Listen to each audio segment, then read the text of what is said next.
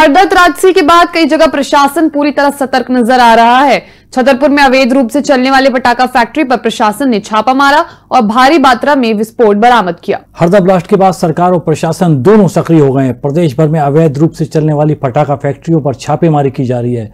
छतरपुर शहर की कृष्ण प्रिया विहार कॉलोनी में अवैध रूप से संचालित हो रही पटाखा फैक्ट्री गोदाम का ताला तोड़कर प्रशासन ने छापेमारी की। भारी मात्रा में विस्फोटक यहाँ से बरामद किया गया। मौके से पटाखा फैक्ट्री संचालक फरार हो गया।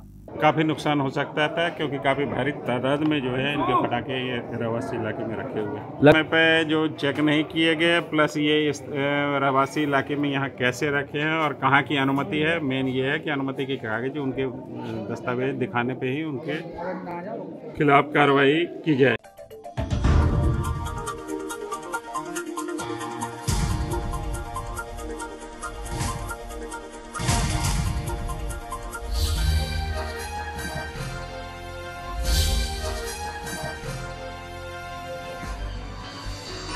आप देख रहे हैं दखल न्यूज़।